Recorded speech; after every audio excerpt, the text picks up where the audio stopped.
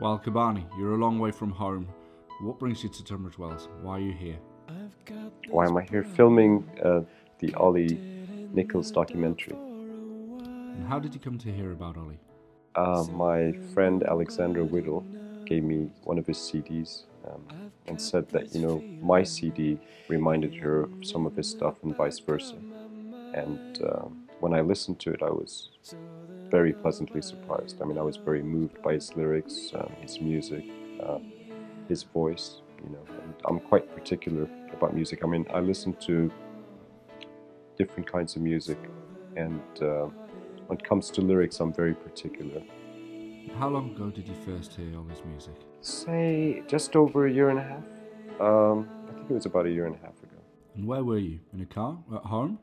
No, at my home actually, in my home office, I think. Um, and I really didn't know what to expect. You know, I, I get handed CDs quite frequently, and you know, I just thought I was going to be just another CD, and then I was really mesmerized. I mean, I've I've been moved by music before. You know, not that frequently, but not to this level, not to this point. Um, you know, I think it's the songs, but it's also meeting people he knew. You know, I mean, I'm, I'm kind of finding out about someone else through his friends, his family, people who've worked with him, this great community of people. You know, I mean, I again, last night was magical because I got to hear amazing music in a little place called Tunbridge Wells. I'd never heard of, you know, I, I mean, so it was, it was great to kind of be part of that, to just be there and when did you realise that there was something different about this CD, that you were listening to something really quite special?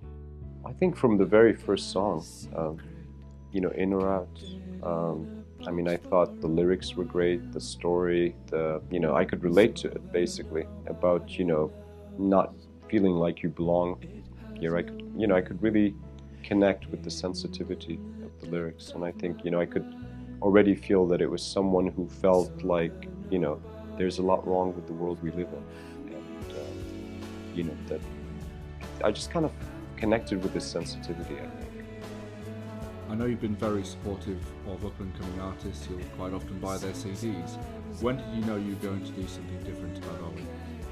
Well, it actually happened very quickly. I mean, before I even bought the CDs, I thought, you know what?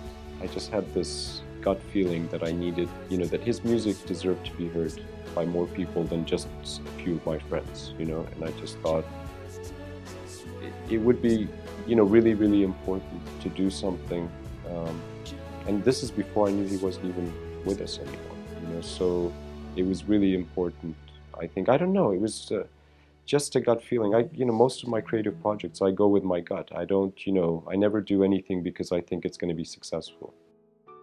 And when and how did you know that you'd made the right decision? Well, I mean, one of the things is I knew, you know, just within weeks of working on the project that my gut instincts were right for me. You know, they, it just that's what I needed to do, and there was something very special about him, not just his creative work, you know, uh, just as a human being. Since listening to that CD all those months ago, what other aspects of Ollie have you come to discover while making your documentary? Well, those two particular things, you know, his poetry, his other forms of writing. So it wasn't just lyrics. He'd actually written poetry. He, you know, his uh, sense of humor, his witty, um, you know, lyricism in non-poetical uh, forms of writing as well. You know, he'd done creative writing. He'd done uh, plays. You know, and there was always this kind of. I, I love the juxtaposition. There was always this kind of, you know, cheerfulness and positivity, but there was also this kind of artistic, almost not pessimism or melancholy. yeah, I would say melancholy. A lot of you know creative types, including myself, we we kind of we're not you know we're multifaceted. In many ways, you're in a unique position, coming to get to know Ollie through the um, the soundscape of his life, the memories of his friends and family. What have the challenges been in making this documentary, and what are some of the things that have stood out about the Ollie that you have come to know and love over this process? And I think some of the things that really stand out are his, you know, wit, his humor, his generosity, um, and I think encouragement. I mean, that's something you know that I was impressed by with your own website. You know, the fact that you're doing something because I've always been into community and like you know trying to support creative artists and stuff like that because I think that's something I come from a culture that unfortunately doesn't support creativity as much, at least growing up.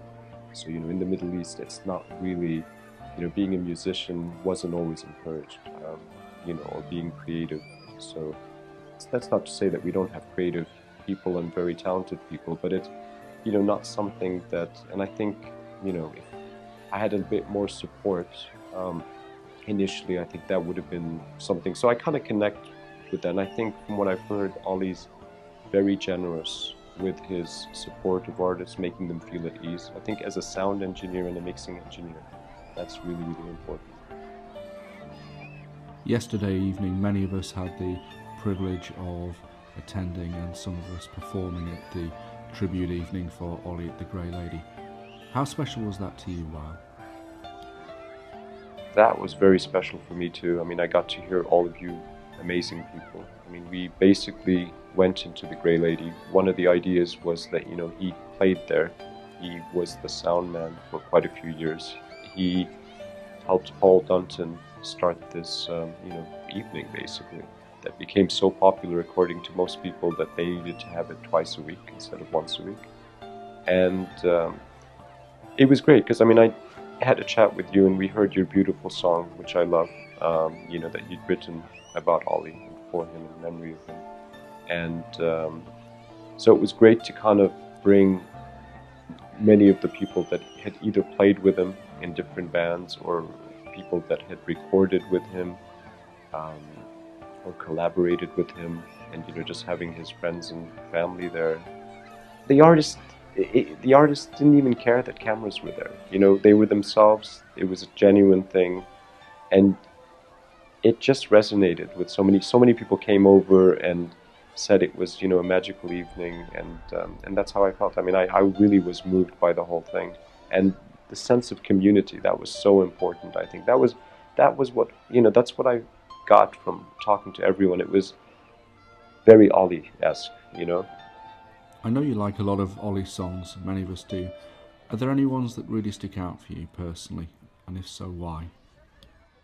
Well, I mean, I love all of them, to be honest with you, but some of my favorites are In or Out, as I've mentioned before. Um, I mean, I, I, like the witty, uh, you know, way that he kind of used a lot of uh, Beatlesque uh, you know, references in the second one, uh, Purple Rain Cloud, rain, Purple Rain Cloud, I think it's called. And um, I really like Box. Um, I think you know that that was that's quite powerful. Um, Figment is great.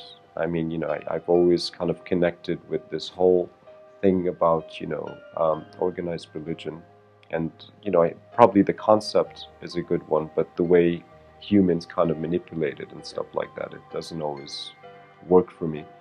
Um, there's so many good ones. I mean, you know, Wonderful Thing. Bubble is very bubbly, uh, very cheerful musically, but you know, again, that's something that I tend to do with my music. Sometimes the music might be quite cheerful, but the lyrics might be quite um, poignant and you know, a bit darker or deeper. So, one thing that really surprised me about the album is I don't often enjoy um, you know instrumentals as much. I'm really more of a very into lyrics. I'm primarily a lyricist and melody maker, but um, for me, usually I connect with songs that have a lot of lyrics. Um, I mean, or at least tell a story. They don't have to be very wordy or anything like that. But I think what really surprised me is I love his piano playing and you know the subtle production, that little touches here and there that were still, you know, they weren't overly produced. Nothing felt to me that it was overly produced. And in what way has this documentary impacted on your own life? In what way do you think uh, Ollie's music and Ollie's life may have touched you? Kind of it.